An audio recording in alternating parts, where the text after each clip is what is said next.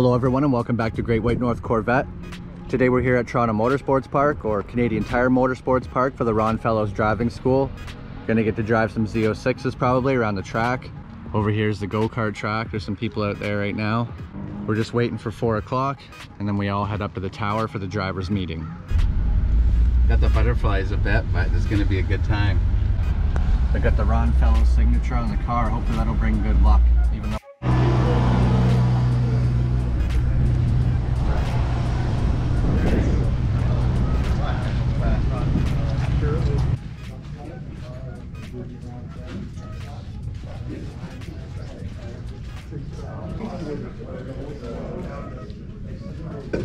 Um, my name is Ron Fellows. I'm part of the ownership here, along with my wife Linda. Linda and uh, Carl Fidani. Uh, and, the, and then along the way, the long-standing partnership I've with General Motors on both sides of the border, we've created this uh, evening program. The good news is, as track owners, uh, from the time the snow melts to the time the snow flies, this track here is completely booked. And I've said it before and I'll say it again, this track is a bucket list track for drivers around the globe. You don't make them like this anymore. Long, fast corners, elevation, absolutely demands respect, which is why we have this team here. Uh, and so these, these guys are all racers and, and uh, uh, left to right, uh, Robin, Rolf, Martin, um, Matt, sorry, and uh, that's uh, Sam Fellows, Junior. Yeah, Um, yeah we'll, uh, we'll, uh, we'll get going here. Uh, Sam will do the safety briefing and uh, we will see you through the evening. Enjoy. Thank you. Thank you. Um, Sam, I just have a quick question. Your dad posted the video of the track time here, Yeah. but what's your track? He wouldn't let you post your track? He, he went faster in the Corvette than I go in my Canadian NASCAR. So that's how fast the Corvette is, the street car. Wow. Yeah. I think pole was in our lap race last year was a minute 22.4 or 5, and he did a minute 22.1 in his street car. So it's pretty fast Yeah. for a 65 year old. That was the good news. Is that in manual? no, that didn't drive. That didn't drive. Yeah. Yeah, it, uh, I was, on- the reason I did it was, did it that way was because uh, I was concerned about ensuring that the, the shifts were absolutely spot on up the back straight to maximize straight line speed. And the computer knows it better than I do, so I left it drive. And there's only a couple of downshifts between turn 10 and turn 5 anyway, so Yeah. that was the reason to do it. And I had to, just based on the tire um, and the and the cool temperature. We were using tire warmers, and you had to get it on the first lap. So we took a couple of, couple of tries to get there, but we got there. the best part was it was a GT2 RS that had set the record of a 2236 a few years ago, and it was one of their young Factory, factory drivers. drivers. Yes. We had to wait, it happened May 23rd, then GM didn't post it until, what, July the 3rd? Yeah, Something like the that? race week. And it was like, yeah, man, 65-year-old guy in a Corvette beat you too much.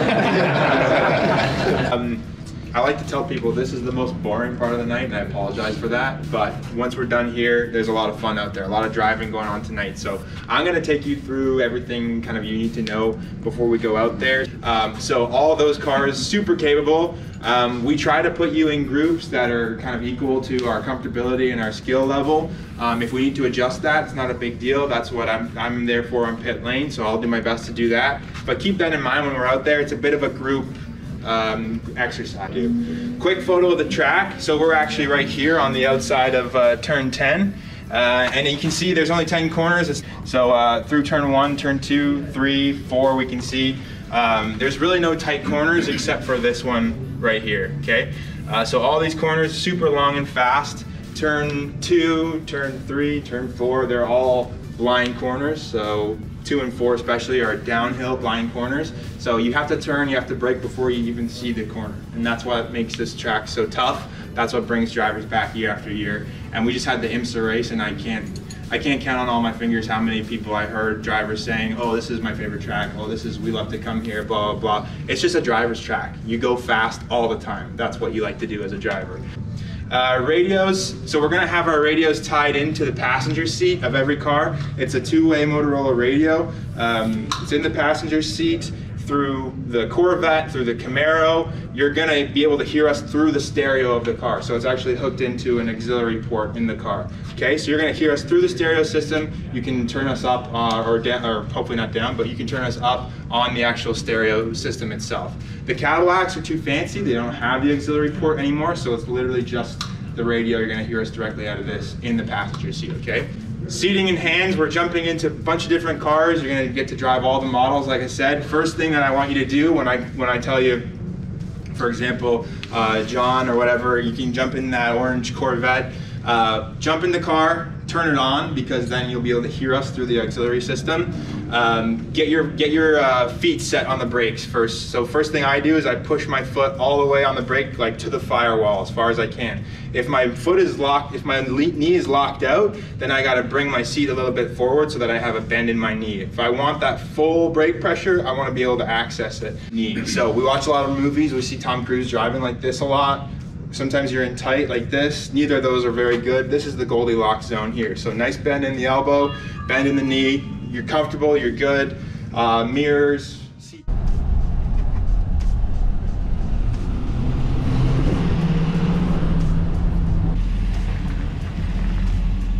So here we are, we just got down to pit lane. Got all fitted for our helmets and Hans devices. Gonna do a short little meeting here. And there they have some of the Camaros, Corvettes, and other stuff we're gonna drive, the CTS V, uh, Blackwing or whatever. We got a nice little canopy here to sit under while we wait. And then we're gonna be heading out on the track in just a few minutes. Uh, if, well, if you hear your name, I'll just call all the names. And if you hear your name, you can start to get your gear on. Um, and if you don't, then you're just in the group in Group B, so you have an extra 10 minutes to wait. So no offense, nothing personal. So you're in the first group, getting ready to go. So what did he say you're driving? The Camaro? Camaro. So you're taking out the old Camaro first. ZL1.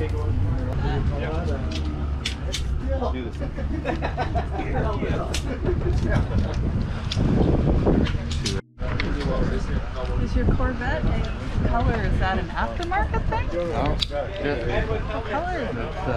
It's uh, yellow metallic. Yeah. I added a little extra red to it. the red you added. I knew something got added. Andrew? Up here? I think so. Sammy?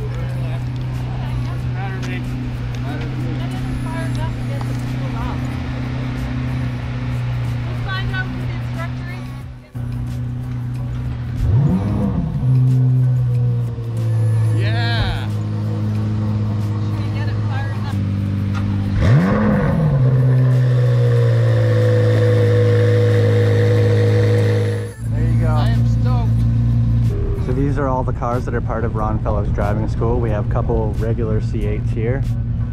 And then one, two, three, four Z06s.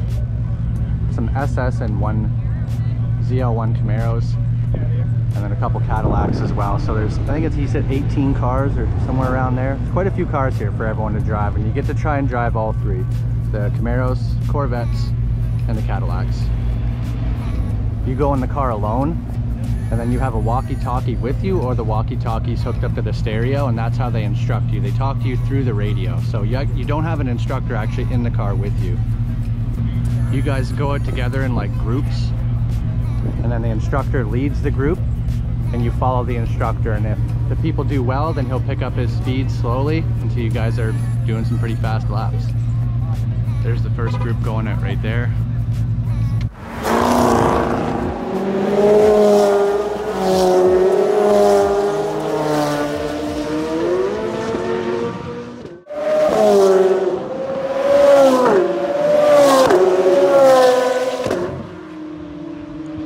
Great time. Just got to go out in the Z06 Corvette. what top speed did you hit Uh, I don't know. I wasn't watching the speed gauge. well that's probably good that means you were doing good The Camaros seemed to be going pretty good though. Yeah, the Camaros were flying. They were flying, yeah. There must have been some guys who have been out here before or something. So you go out for about 10 or 15 minutes, do about three or four laps. So right now we're just resting under. Having some peanuts. There you go. No, Just not fast enough. no, it's the problem. The beginning of the group, right? Yeah, yeah, for sure. Learning the track. And... No, it was a good time. Unfortunate part. The Camaro's fast though. Yeah, the Camaros were flying. We saw. oh, there he is, Great White North Corvette. He's about to take out the ZL1 Camaro this time. He took out the Z06 last time. We're gonna rock and roll. You took the Z06 out, now you're taking an SS Camaro out. Have you ever driven a Camaro?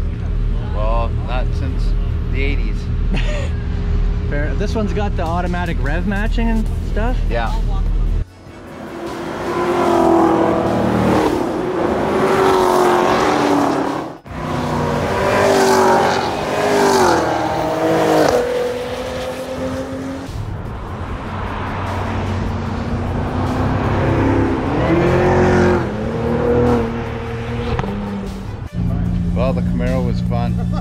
Trick to getting off the Hans device? Yeah. You, oh, you're asking me. I thought you knew the trick. No, no, I you're like, I how do. I get this? So how was uh, how was the Camaro SS? Camaro was a blast. The Z didn't really compare to the Z06, so No. Does it feel? How does it feel compared to your normal Corvette? Though? it feels like a rougher ride than the Yeah. C8. What about fast wise? Like pretty similar? No, I'd say the C8's faster. Yeah. Yeah. Yeah, I guess it is just SS. Maybe the ZL1 might have felt Yeah. a little bit perkier, which is this one right here. Now, if you guys want to drive some ZL1s, some Z06s, and some Black Wings, this is definitely the place to come. It's a good time.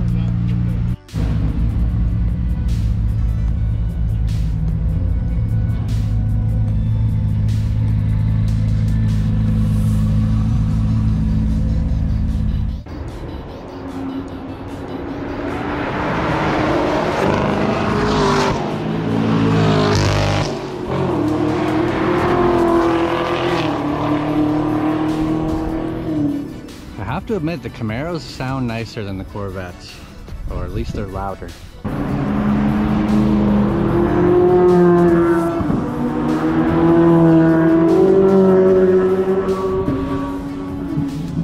Okay, I take back what I said. The Z06s sound better. Camaro time. I personally love them. They're a little bit beast-like, a little bit prehistoric, but lots of fun and lots of horsepower, so makes it kind of interesting. As far up the road as you can. Imagine a baseball batter, you know, major leagues, he's up to the plate and he's trying to see the ball come from the pitcher. Well, if he only looks up at the last moment, he's never going to hit it. But if he can see that ball leave the hand of the pitcher, he can slow it right down. Some batters say they can see the seams of the ball and how it's rotating. Well, that's what we're trying to do in racing. We're trying to see as far up the road as possible.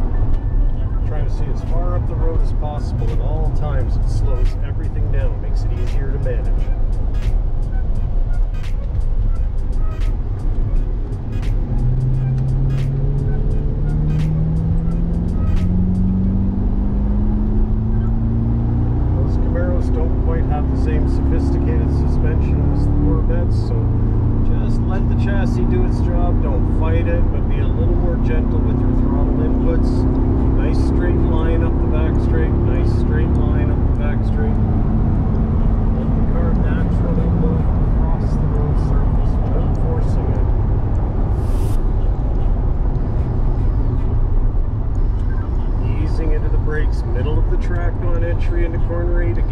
Up, you're opening the throttle a little bit, pushing the car forward with the throttle, helps settle it down. We ended up getting some pretty fast laps on the track after learning the lines and getting some tips from the instructors. After the driving is done, everyone goes back to the main building for drinks and a really nice dinner. If any of you want to get the Ron Fellows experience and drive these cars on one of the best racetracks in North America, we cannot recommend it enough. It can't be understated how amazing this track is with the elevation changes and fast corners. Thanks a lot to Ron Fellows, Linda Fellows, and the whole crew at Canadian Tire Motorsports Park. Leave a like if you enjoyed and subscribe for more videos. See you next time on the Great White North Corvette.